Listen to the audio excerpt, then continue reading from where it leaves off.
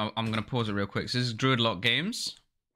And generally our strategy here is to run after the Druid, get fears on him, shatter him out of it with a sheep on the Warlock roughly around the same time to stop him fearing me or, or stopping me. And then I'll burn the Druid, try and force CS from the pet. Uh, so he has to either CS the burn or, or CS the shatter from the mage. And uh, if these games go a bit too long, the Druid Lock ones, as as they have a you know a tendency to, I'll, I'll skip through them a little bit because obviously it's just us doing setups and you don't need to see that over and over. Here we force the Druid's Trinket uh, because the Warlock's down the bottom, Druid's in a bad spot, and uh, obviously he doesn't want to doesn't want us creating pressure on him. Now we're just chilling at the top, waiting for fear cooldown, maybe looking to snipe a burn, gets resisted, now he bears. So if we force bear, we're still forcing some some mana out of the druid. Uh, druid's positioning was poor here, so he got casted on a lot, and so we're creating some pressure on him. So this actually makes him use quite a lot of mana. I get feared here, trinket, unfortunately get feared again. Maybe wasn't a good trinket, now he innervates, but he just runs straight into me. So this, this is a lower team, this is one of our earlier games. Um, as you can see. But the strategy remains the same. We're, we're essentially trying to do the same thing over and over. Here we get a fear on him. Mage is usually trying to keep some sort of stacks on him, whether it be Winter's Chill or like a, a slow. Obviously, you can shift it, but if I get it when uh, if he's slowed at the same time as I fear him, then potentially the pet can remove some other random bullshit instead of you know instead of the fear. Obviously, if he if the pet removes the fear, then he can't dispel himself from sheep either. So Right now, there's no reason for me to drink. We're miles ahead on mana. Druid is in a lot of trouble, has no innervating. We're just chasing him down now. And when I have this much, you know, of a mana lead, I can just play really aggressively on him, and it makes it really difficult for him to kind of get away and, and survive. Warlock actually gets a full fear on me here, so this is going to save him for another go, most likely. But Druid is starting to get real low. And uh, right now, we just need to stop him drinking. That's the main goal. He's looking for it here, but I don't think he's going to get anything River's onto it. And I, would say he's going to die on the next fear, most likely. I'm just going to get a little safety drink in here, just in case. Uh, while waiting for my fear cooldown. Might try and mount up, up the top here. Probably the play here. Maybe didn't need to go for that renew. Looking for some cheeky damage on him. Using Chastise, obviously, to to get onto the Druid is decent as well. Okay, actually managed to force the Druid's Trinket again on that one. And uh, yeah, again, most likely he's going to die on the next fear if we get a shatter. Uh, yeah, this, as you can see, this is a lower team. Warlock hasn't been mana draining at all. He's trying to just put out pressure with damage, but he's not getting that much off. There's a mana drain. Very late in the day for that. But yeah, mostly he's obviously been trying to create pressure, but obviously River's outplaying him. We get the fear on the Druid here. I'm going to pop PI and get a burn off on him. Just delaying it a little bit because I want River to get a shatter. Burn goes off. Trinket the fear. Try and... Oh, Fearward the next, actually. Lost it anyway. Fearward doesn't get uh, removed. And I just drop Fiend on him here just to create a little bit of added damage pressure. And honestly, at this point, if he if it's not Blades, his Druid is long dead. Only reason he's still going is because it's Blades, but I think he dies here. Probably looking to remove the, the blooms on three stacks rather than two. Getting a big grey healer on, on River just to be safe while he's in the fear. Boy uses bark skin, gets a burn dispel.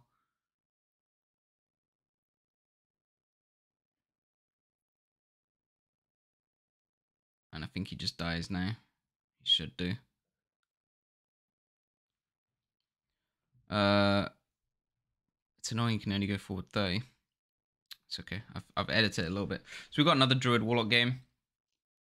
So the way I've set it up is I've got all the Druid Warlock stuff in the same segment so that we can kind of see the improvement or, or any mistakes from the games in a row and see see how the teams kind of progress a little bit. Um, so obviously the games that are more recent will be at the end of the of each segment. Which is where obviously we're like fine tuning mistakes more so. Uh, get a nice little mind blast, mind blast death on this guy here, and uh, we're not on Blade's Edge this time, so it's a lot easier to harass the druid. Um, we're, using uh, the rank 1 Blizzard as well, sometimes if I need to get a Fear. Right now I have the pet on me, so I can't man up to Fear, which is annoying, but at least it keeps it off river. So I'm just running at him. I should try and commit to a, a certain way more and then let let River just blizzard the other way. We'll have an easier time catching him. Because right now he's just running. See like this. This is what we want. And I'll get the fear here. Get the PI on River. And just drop my Fiend on the uh, on the Druid. And actually we're going for the pet here. This might be... Nah, I don't think it's going to go down. As, as soon as it gets a heal from the Druid, it's pretty much going to survive. It's like he, he needs like one, maybe two life blooms, and we're not going to kill it due to resists. Unlucky to uh, tornado there. I tried to run through it and get it to bounce me to the Druid, but doesn't always work out.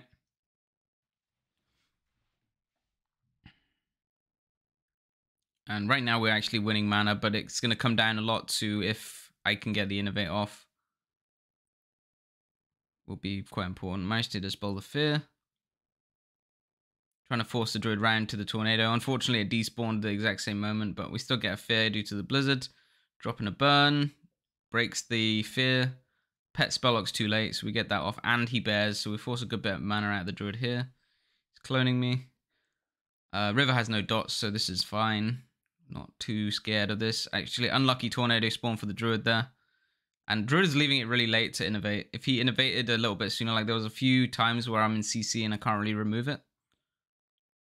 But if he leaves it this late, then because of how high my mana is, the Warlock's putting out double dots, right? So it allows me to Pom bounce all the time. Rather than just like solo dotting River and forcing me to use more mana to heal him, I can just Pom bounce every time uh, I go near him and it's going to top us.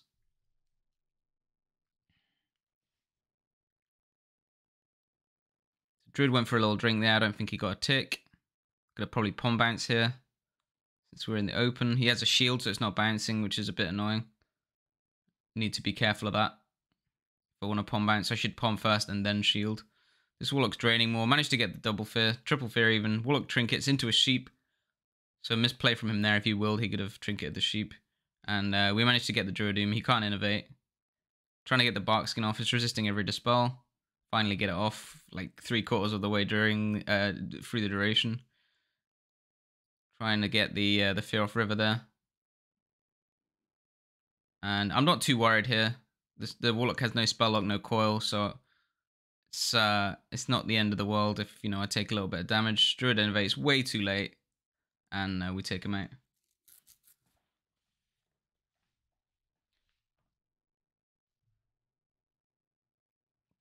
Be interesting to see what MMR this one's at. The Warlock Healthstone for no reason. We won't get to see it. So this is a more recent game, actually. This was the other day. This is a much better team. But uh, we've also improved since then. Get a good shatter on the pet, actually. And uh, I actually misplay here. This was a misplay trinketing this. I shouldn't have trinket the bash. The druid's like lagging all over the place making it very risky to just go for a fear on him. And uh, I think he devours the field. No, I fielded River, actually. So, yeah, I get feared here instead of getting a burn on him. But the Druids used a lot of mana, which is nice. Uh, I got full dots, which have been powered up, so this is a bit risky for me. I played that quite aggressively, and, and the trinket was poor, which is why it got so scary. So I had to Desperate Prayer in the room. Uh, and I believe River locked the Druid on NS. Otherwise, I would have received an NS Wrath and we could have lost the game there. But this was nice, uh, nice save. And Druid has used like a shit ton of mana now, which is in our in our favor. Now I'm just gonna run at him. The Warlock's used a lot on uh, on that last go. He's committed pretty hard for that, so we're okay to go offensive for a little bit now. Pheromon is charged. Gonna Pom bounce. Warlock gets CS'd. And I'm looking to do a little bit of damage if he's in bear. If he's in caster, then I'll look to burn him. As it's more efficient in the way of, you know, forcing the druid to to play more defensively due to low mana. Putting a little bit of damage on the pet. I'm staying at the pillar here because uh, druid not crossing. River doesn't have CS yet. And we're generally trying to cross more with CS so that uh, so that the Warlock can't fear me. Because if the Warlock fears me, then we can fall behind, and it's really bad in this matchup. We need to maintain pressure on the Druid like all the time. I fucked up a Pom as well a little bit earlier and lost River on it. A little bit of a panic Pom. I could have waited with that. There was no reason to rush it. So Warlock somehow doesn't get that fear. Maybe I resisted that one. I'm not sure. it didn't land on anyone. River gets full fear I'm stopping the Druid drinking. Gonna try and get the sphere off. And I think I'm late here to fear. No, I actually get the fear. I thought I might be late, but managed to get it. My bangle just came back up. Druid actually got a really nice fear path for us and it allowed us to get a big shatter off. So he barks. Managed to dispel the bark, dispel the fear, pop the fiend. And here actually we managed to rush him down before he zoom. Uh, due to that really nice shatter. I guess he got some crits on that one. So it was it was a solid uh, executed go from us. But we were actually behind on mana. So had we not killed him there, we'd have been in a rough spot. Mainly due to the start from me, I think.